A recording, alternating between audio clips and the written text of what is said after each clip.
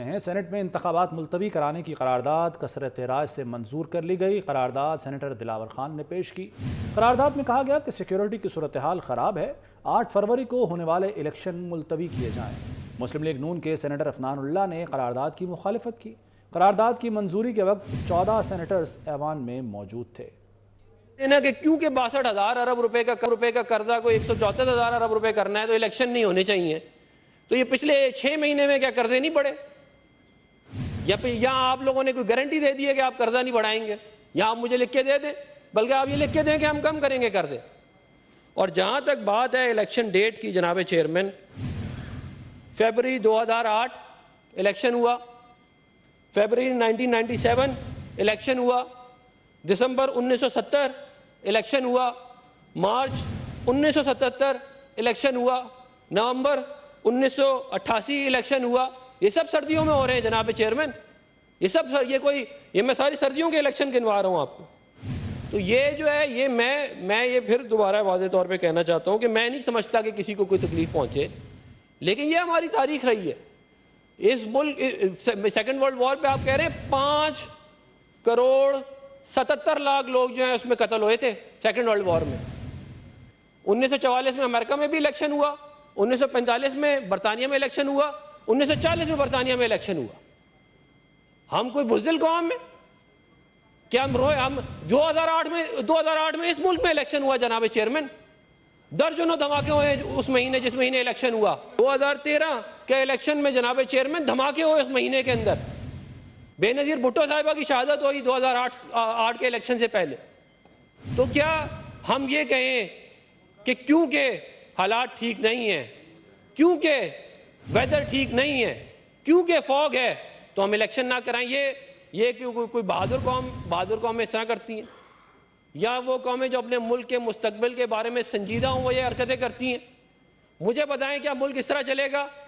बगैर आइनी इदारों के बगैर प्रोविंशियल असम्बलीज के बगैर नेशनल असम्बली के बगैर इलेक्टेड प्राइम मिनिस्टर के क्या मुल्क ऐसे चलेगा जनाब चेयरमैन और फिर जनाब चेयरमैन सुप्रीम कोर्ट की इसके ऊपर वाज स्टेटमेंट आ चुकी है जनाब चेयरमैन और मैं जनाब चीफ जस्टिस काजी फायदी साहब को सलाम पेश करता हूँ कि उन्होंने कहा कि ये पत्थर पे लकीर है और ये इंशाल्लाह पत्थर पे लकीर होगी।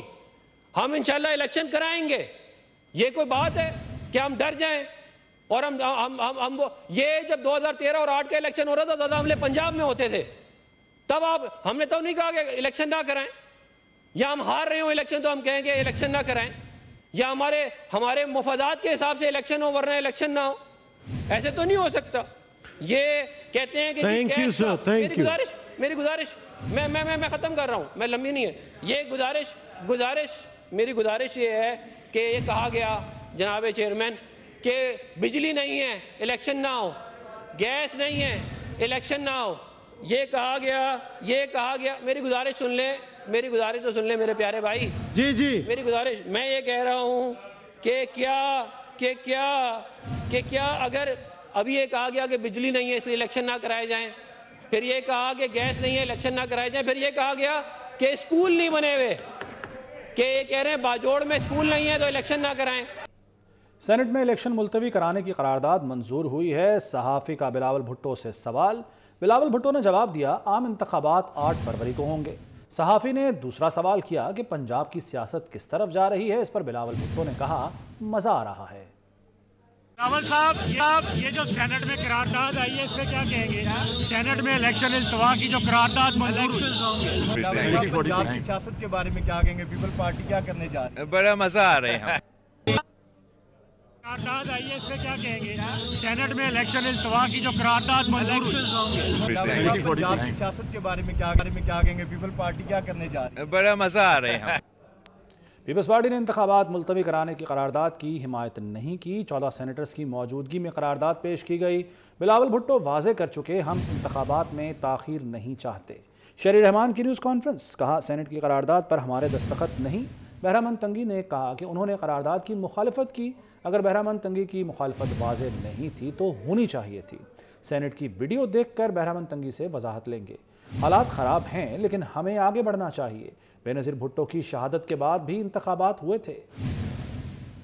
ये कुछ चौदह शायद सेनेटर्स ने मूव किया है, एक करारदाद कि पाकिस्तान पीपल्स पार्टी इलेक्शंस बर वक्त चाहती है और मुनसिफाना और शफाफ ज़ाहिर है, इसकी भी बात हो रही है, शफाफियत की बात हो रही है लेवल प्लेइंग फ़ील्ड की बात हो रही है, लेकिन इस वक्त ये क्लैरिटी मैं बिल्कुल बग़ैर किसी इबाम के यहाँ कहना चाहती हूँ कि कुछ दोस्तों को ये सवाल था कि पीपल्स पार्टी ने इस करारदाद को सपोर्ट किया, ऐसा बिल्कुल नहीं है। तो ना हमारे उस पर दस्तखत हैं, ना उस पर कोई हमने इस तरह का रद्द अमल दिया है कि किसी को ये सोच हो, किसी को ये सवाल हो कि पीपल्स पार्टी ने सपोर्ट किया है। मुझे मालूम है कि आप लोगों ने सेनेटर तंगी का के हवाले से तवसत से ये सवाल किया है। उन्होंने मुझे कहा है, उन्होंने हमारे उस पर कहा है कि मैंने मुखालफत की। अब, जो भी सिचुएशन है उनकी मुखालफत अगर वाज नहीं थी तो शायद होनी चाहिए थी, और अगर ऐसा है तो फिर हम उनको ज़ाहिर है, सुबह पार्टी सेक्रेटेरिएट पूरी क्लिप्स देख के वजाहत से उनसे उनसे एक्सप्लेनेशन ज़रूर मांगी जाएगी। आ, हमारा वाज मौक़ रहा है कि इलेक्शन बर वक्त होने चाहिए। ये मुल्क में हिजानी और परेशानी की कैफियत नहीं फैलानी चाहिए बेयकीनी और नहीं होनी चाहिए। और हमारी तरफ़ से कोई ऐसा सवाल ना उठे जिसमें हमारी आवाज़ शामिल हो ऐसी किसी करारदाद में। मोहतरमा शहीद की शहादत। तो उन्होंने उनकी शहादत के बाद भी आपने देखा कि मुल्क में इलेक्शन हुए। जमात इस्लामी ने इंतबात बर वक्त कराने के हक़ में सैनट में करारदाद जमा करा दी। करारदाद सेनेटर मुश्ताक अहमद खान की जानब से जमा कराई गई। करारदाद में कहा गया है कि सैनट से चोर दरवाजे से जो करारदाद पास कर दी गई, वो जमहूरियत और इलेक्शन के ऊपर हमला है। सैनट की बेतौकीरी की गई है और इसके चेहरे पर स्याही मल दी गई है। ये करारदाद मावराए दस्तूर है। सैनट ऑफ़ पाकिस्तान से ऐसी करारदाद पास नहीं की जा सकती जो दस्तूर के खिलाफ हो। इलेक्शन का इनका एक दस्तूरी तकाजा है जो निगरान हुकूमत और इलेक्शन कमीशन की ज़िम्मेदारी है। इस हवाले से सुप्रीम कोर्ट का फैसला आ चुका है। आठ फरवरी इलेक्शन का अल्तवा अमन अमान की सूरत हाल और मौसम की शिद्दत की आड़ में मावराए दस्तूर है। इस करारदाद की मजम्मत करते हैं। निगरान हुकूमत गैर जमहूरी क़वतें इलेक्शन से भाग रही हैं। इलेक्शन के अल्तवा का सारा फ़ायदा गैर जमहूरी क़वतों को होगा। इलेक्शन अल्तबा के मुल्की सियासत जमहूरीत यकजहती और सालमियत के लिए ख़तरनाक असरात होंगे।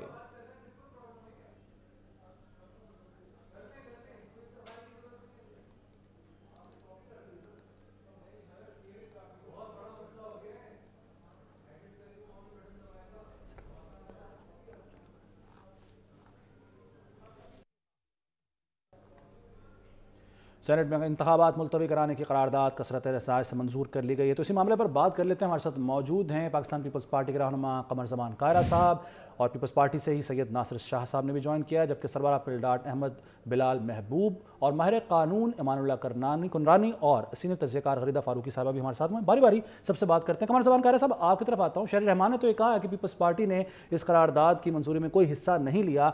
आपके क्या ख्याल हैं इस करारदाद के हवाले से? मुझे तो नहीं पता ये जिस तरह आप बयान कर रहे हैं मैं तो अपनी कंस्टिट्यूंसी में हूँ इस वक्त। लेकिन ये तो बड़ी अचंभे की बात है कि अगर किसी मेंबर ने अपनी जाती हैसियत में कोई इस तरह की करारदाद पेश भी की है तो उसको जमातों ने वोट किया होगा ना? उसको मेंबरान ने वोट किया है तभी वो अगर उसको रेजोल्यूशन तो बहुत अचंभे की बात है। ये तो पाकिस्तान के जमहूरी अमल के एब्सोल्युटली खिलाफ एक अमल है।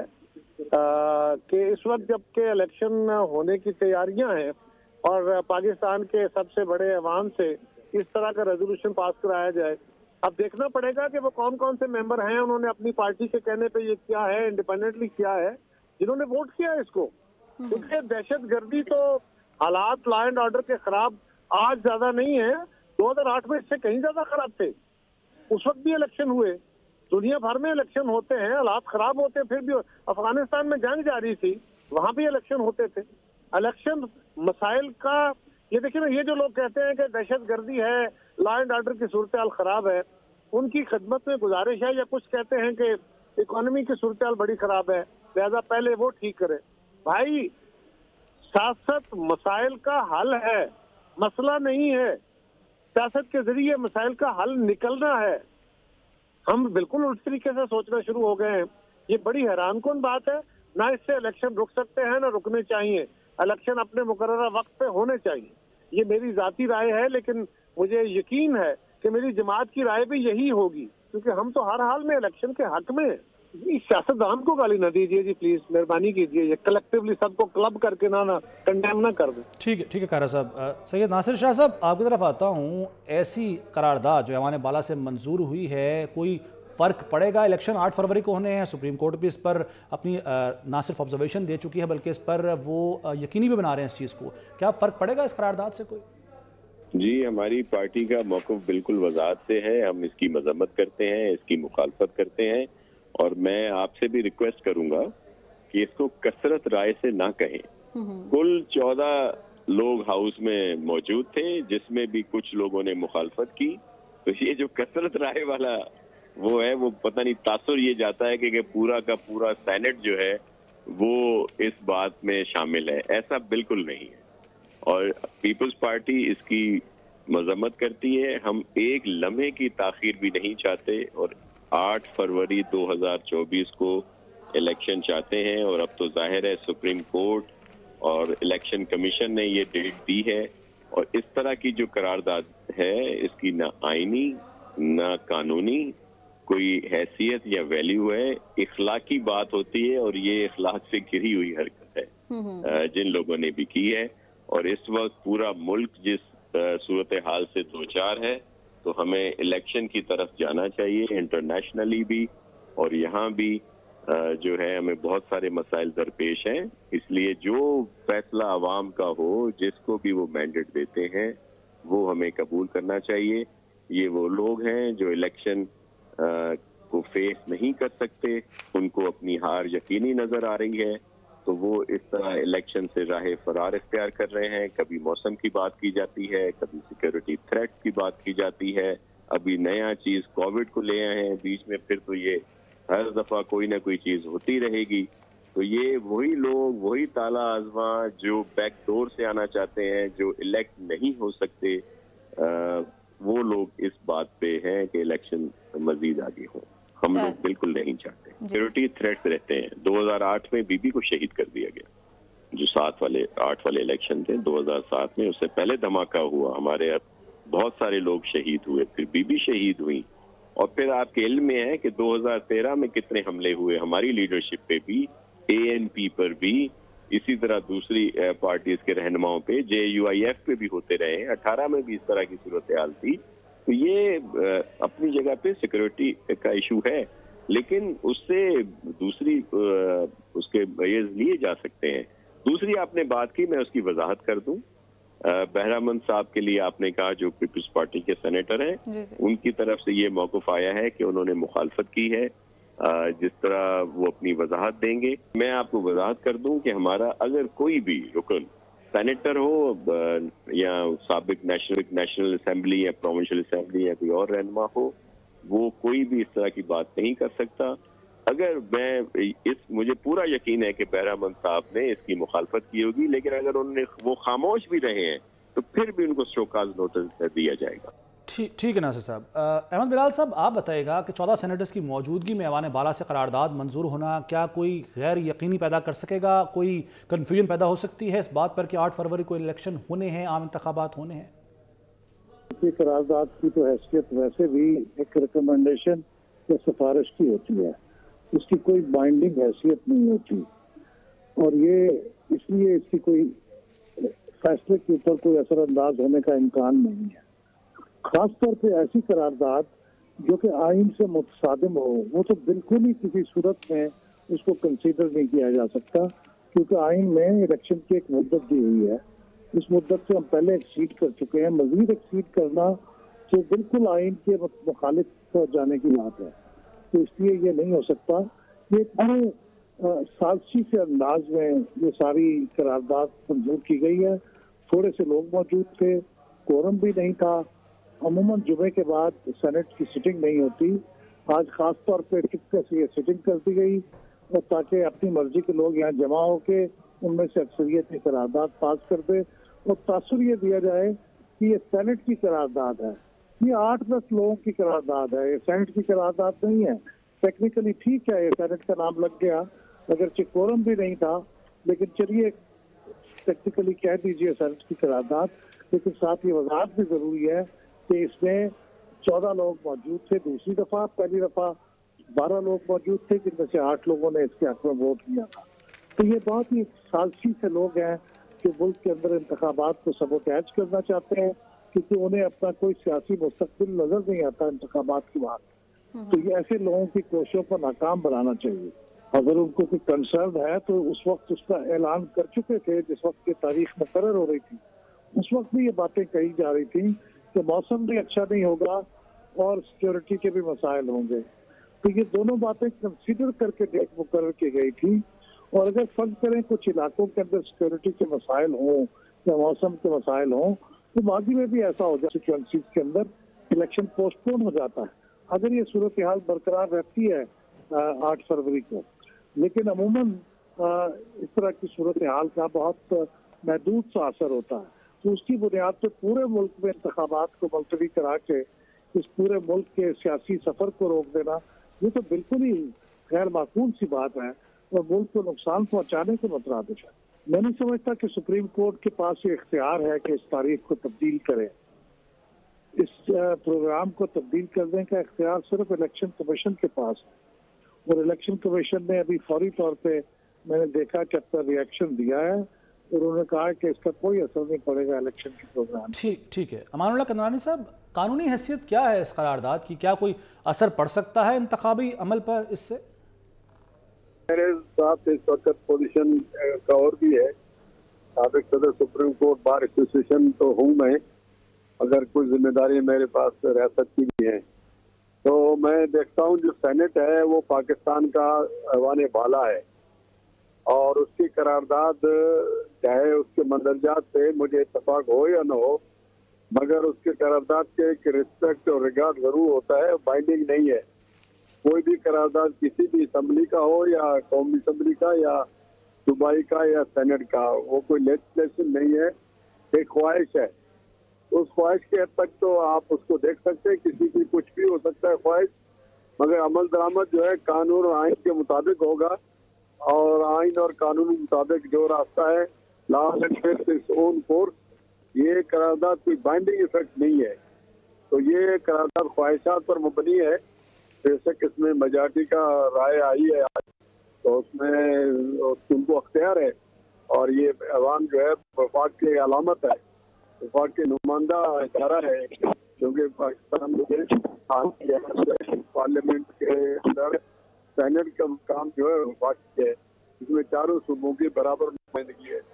तो इसलिए से उसकी आवाज़ की एक हैसियत तो है, मगर उस आया उसके आवाज़ को कानून का दर्जा नहीं दिया जा सकता।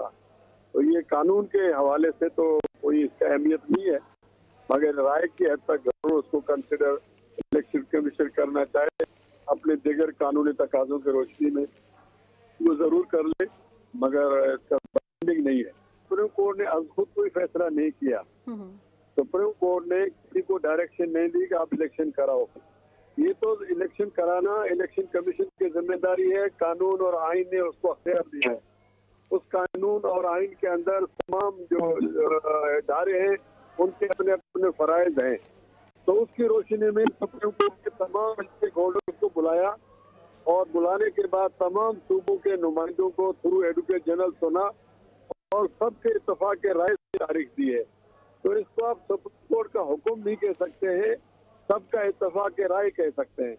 अगर खुदा न खास्ता इलेक्शन आठ फरवरी को नहीं होते हैं तो ये नहीं कहा जाएगा कि तोहिन अदालत है। क्योंकि अदालत ने अब खुद कोई ऑर्डर नहीं दिया, न किसी केस के अंदर दिया है। अदालत ने तो सिर्फ़ फैसिलिटेट किया है, तमाम स्टेक होल्डर्स को और उनको बुलाया है, उनसे लिखवा कर लिया है। और उन सबने मुतफ़ा तौर पर खुद वॉल्टियरली ये कंसेंट दे दिया है कि इलेक्शन आज को होने चाहिए। अब अगर कोई वजह बनती है और वो कानून के मुताबिक है और कोई इसका जवाब निकाल सकते हैं, जो इदारे हैं, जिन्होंने कंसेंट दिया है तो वो फिर सुप्रीम कोर्ट से रुजू कर सकते हैं। अब खुद जो है, इसके अंदर कोई ऐसा लेकुना नहीं डाल सकते, क्योंकि सुप्रीम कोर्ट में जब आपने कमिटमेंट की है तो सुप्रीम कोर्ट को इतना ज़रूर करनी होगी कि ये वजूहत है नए और हम वजूहत के अंदर जो है इसका मुकाबला नहीं कर सकते कम्पेट नहीं कर सकते। इसके लिए कोई हमें रास्ता या वक्त या तयन करना है वो फिर सुप्रीम कोर्ट के सामने लाना होगा। तो अब खुद जो है जी हाँ। ठीक ठीक है। गरीदा फारूकी साहब आप आप बताइएगा कि इलेक्शन के बर वक्त इनका पर कोई सवाल खड़े हो सकते हैं इस करारदाद के बाद? ये बड़ी दिलचस्प सूरत हाल है जी और ये करारदाद सेनेट में एक ऐसे वक्त में पेश हुई है और कसरत राय से मंजूर हुई है। जब इलेक्शन में कोई तीस या मेरे ख्याल है कि बत्तीस तैंतीस दिन बाकी रह गए हैं यानी कि मैक्सिमम एक महीना बाकी रह गया है इलेक्शन के इनका में। और ये जो करारदाद है पेश की है सेंटर दिलावर खान साहब ने जिनका ताल्लुक मुस्लिम लीग नून से है पार्टी उनकी नून लीग है। 2018 में वो इलेक्ट हुए थे सेनेटर के तौर पे लेकिन आपको पता है 2018 में जो मुस्लिम लीग नून जेर अताब थी और नवाज़ शरीफ के सिग्नेचर से जिनको भी टिकट जारी हुआ था सेनेट का उन सब के टिकट वापस हो गए थे और फिर सेनेटर्स को आज़ाद हैसियत में मुंतखब होना पड़ा था। लेकिन है ये नून लीग के सेनेटर दिलावर खान साहब तो अब ये बड़ी इंटरेस्टिंग सूरत हाल है और ये नून लीग से सवाल होगा और होना चाहिए कि आपके ठीक ठीक है फारूक साहब बहुत शुक्रिया आपका भी। मानुल्ला कंदानी साहब अहमद बिलाल महबूब साहब सैयद नासिर शाह साहब और कमर जमान कारा साहब आप तमाम शख्सियात का बहुत शुक्रिया। वज़ीर पंजाब सैयद मोहसिन नकवी ने होली फैमिली अस्पताल रावलपिंडी का तफसीली दौरा किया। अपग्रेडेशन के कामों पर होने वाली पेशरफ का जायजा लिया। अपग्रेडेशन का मजमू तौर पर अड़सठ फ़ीसद काम मुकम्मल हो चुका है। वजी अला सैयद मोहसिन नकवी ने अस्पताल के मुख्तलिफ़ वार्ड्स और शोबों का विज़िट किया। जारी तोसी और तजीन आरइश के मनसूबे की फ़िज़िकल प्रोग्रेस का मुआयना किया। वजी अला सैयद मोहसिन नकवी ने तामीराती सरगर्मियों को जल्द मुकम्मल करने का हुक्म दिया। सैयद मोहसिन नकवी का कहना था कि मरीजों की आसान रसाई के लिए होली फैमिली के सामने दो तरफा सड़क बनाई जाएगी। अस्पताल का ओल्ड ब्लॉक रवा माह के आखिर में फाल हो जाएगा। वज़ी अला ने होली फैमिली अस्पताल में hospital information management system, CCTV कैमरे और टेलीफोन एक्सचेंज को फाल करने की हिदायत की। सूबाई वज़ीर Mansoor Qadir, inspector general police doctor Usman Anwar, commissioner Rawalpindi, RPO Rawalpindi और दीगर हुकाम भी इस मौके पर मौजूद थे। विज़िट करके आए और उसका इंशाल्लाह इंशाल्लाह ताला 60 से 70 परसेंट हिस्सा जो है वो अल्लाह ताला ने चाहा अगर तो हम इकतीस जनवरी तक कंप्लीट हो जाएगा। वो पूरा का पूरा हॉस्पिटल छः लाख स्क्वायर फीट का जो है वो ब्रांड न्यू होने जा रहा है। और कल हमने पीआईसी लाहौर का एमरजेंसी खोला है। आज चिल्ड्रन हॉस्पिटल मुल्तान जाना था लेकिन वेदर की वजह से हम नहीं जा पा रहे। आ, उसका एमरजेंसी ब्लॉक भी रेडी है। उसके बाद एक दो दिन में हम इंशाल्लाह ताला मेयो हॉस्पिटल लाहौर का एमरजेंसी ब्लॉक भी इनाग्रेट करने जा रहे हैं। लेकिन पिंडी का होली फैमिली हॉस्पिटल हमारी टॉप प्रायोरिटी पे है। सबसे इंपॉर्टेंट है बिकॉज़ वो हॉस्पिटल एक तो बड़ा हॉस्पिटल है पिंडी का, लोड उसका इस टाइम डिस्ट्रीब्यूट हुआ हुआ है।